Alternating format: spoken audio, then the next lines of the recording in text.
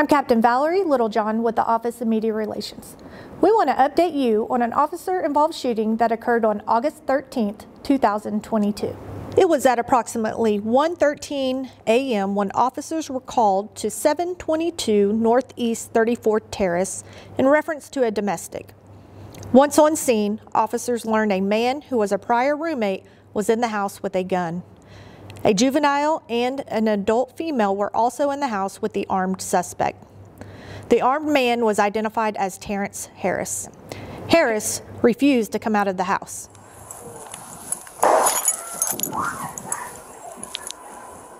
Shots fired, shots fired.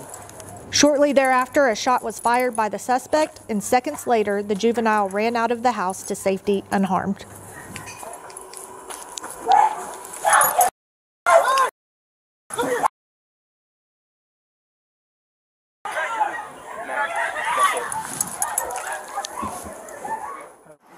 Yep.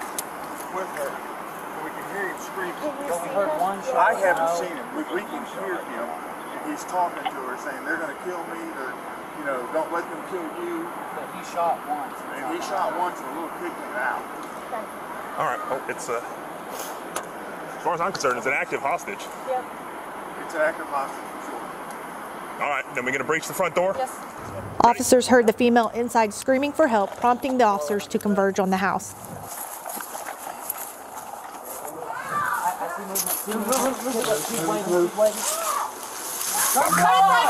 Front door. Front door. Officers were able to get the female out to safety. Grab the front door now. Front door. Now. Now. Relax. Come on. Come to the front door. Come to the front door.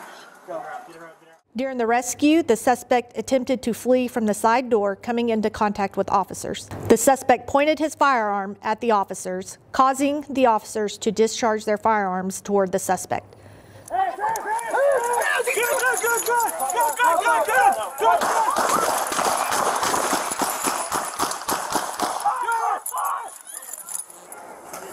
You hit, boss?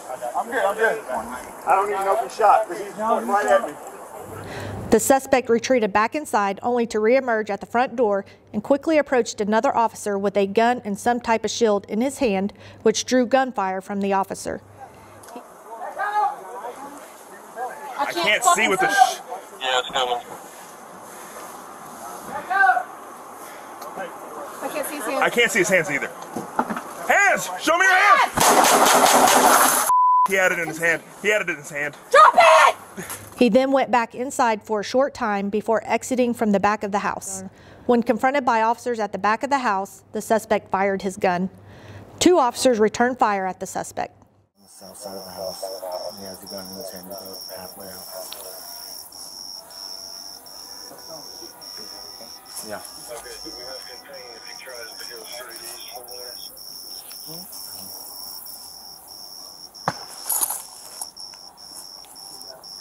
Put your hands!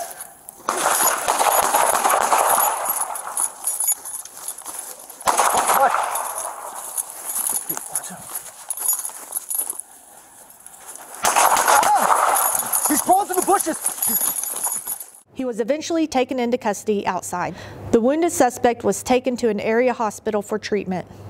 After being treated and released from the hospital, Harris was booked into the Oklahoma County Detention Center for two counts of felonious pointing a firearm, kidnapping, and use of a firearm while committing a felony.